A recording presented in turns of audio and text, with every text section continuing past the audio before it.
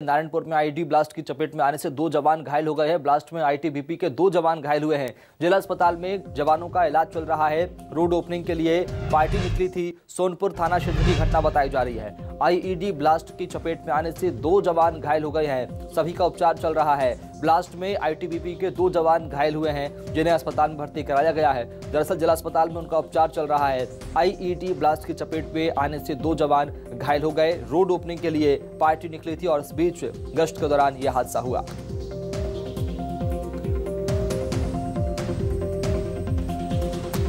तो नारायणपुर से खबर है आईडी ब्लास्ट की चपेट में आने से दो जवान घायल हो गए हैं। ब्लास्ट में आईटीबीपी के दो जवान घायल होने से हड़कंप मच गया। दोनों का उपचार चल रहा है। दरअसल, रोड ओपनिंग के लिए पार्टी गश्त पर निकली थी। इस दौरान यह हादसा हुआ। रोड ओपनिंग के लिए जवानों की टोली, जवानों की टीम वहाँ पर निकली थी और उस बीच यह हादसा हो गया। सोनपुर थाना क्षेत्र की घटना बताई जा रही है। नारायणपुर में आईडी ब्लास्ट के चलते दो जवान गंभीर रूप से घायल हो गए हैं और दोनों का उपचार चल रहा है। फ़िलहाल दोनों का उपचार यहाँ पर किया जा रहा है। दोनों की तबीयत स्थिर बताई जा रही है। जिला अस्पताल में जवानों को भर्ती कराया गया है। जगदलपुर चलेंगे आशुतोष तिवारी से बात करेंगे। आशुतोष, कैसे आईडी का ब्लास्ट हुआ? आखिर कब यह हादसा हुआ और कितने के हताहत होने की खबर सामने आई? आशुतोष।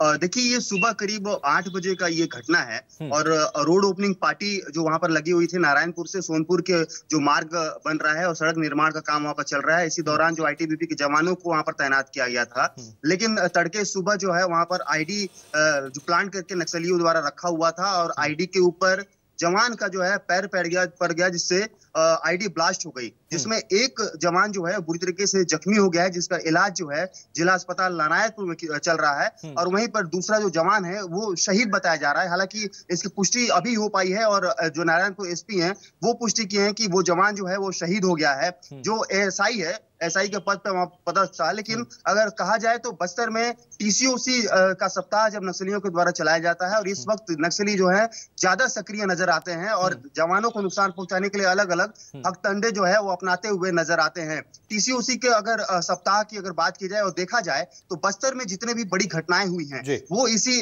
समय में हुई हैं और आज भी ये जो घटना है ये इसी समय में यहाँ पर जो नक्सली द्वारा अंजाम दिया गया है। हालाँकि कई बार ऐसा देखा गया है कि आईडी ब्लास्ट करने के बाद जो नक्सली है वो जवाने के ऊपर ताबड़तोड़ फायरिंग करते हैं लेकिन यहाँ पर ऐसी कोई फायरिंग नज़र नहीं आई। कहा जा सकता है कि पहले से ही आईडी को जो प्लांट करके यहाँ पर रखा हुआ था हम्म। और जवान का जो पैर पड़ा जिससे वो ब्लास्ट हो गया लेकिन जवान जो है जाँच लगातार जारी इस पूरे मामले की सर्चिंग ऑपरेशन चल रहा है जी बिल्कुल जवानों को वहाँ पर भेजा गया है और सर्च किया जा रहा है कि आसपास कहीं कोई नक्सली तो नहीं है या फिर जो आईडी को ब्लास्ट करने में जो लंबा वायर लगाया जाता है ठीक है आशुतोष बहुत शुक्रिया। आईडी ब्लास्ट की चपेट में आने से दो जवान घायल हो गए बड़ी खबर आपको बता रहे हैं। आईडी ब्लास्ट की चपेट में आने से दो जवान घायल हुए हैं। एक जवान शहीद हो गया ऐसा आशुतोष ने बताया। हादसे में एक जवान शहीद हो गया है। बड़ी खबर आपको बता रहे हैं। दो जवान घायल हुए थे, एक जवान शहीद हो गया है। रोड ओपनिंग के लिए पार्टी निकली थी, इस बीच यह हादसा हुआ। अभी आशुतोष ने बताया कि एक जवान शहीद हो गया है, सोनपुर थाना क्षेत्र की घटना बताई जा रही है। आशुतोष के पास एक बार फिर चलेंगे। आशुतोष, एक जवान शहीद हो गया है। उसके अलावा सर्चिंग ऑपरेशन लगातार जारी है। क्या कुछ हाथ लग सकता है सर्चिंग ऑपरेशन के दरमियान?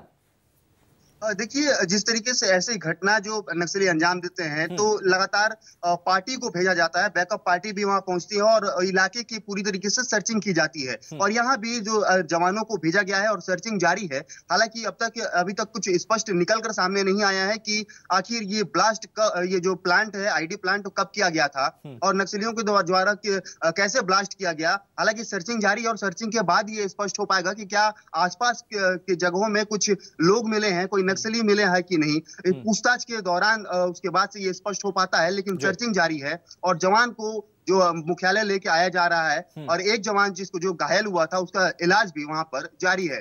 ठीक है बहुत शुक्रिया आशुतोष खबर को विस्तार से बताने के लिए बातचीत करने के लिए। तो बता दें कि आईटीबीपी के दो जवान घायल हुए थे जिनमें से एक जवान शहीद हो गया है।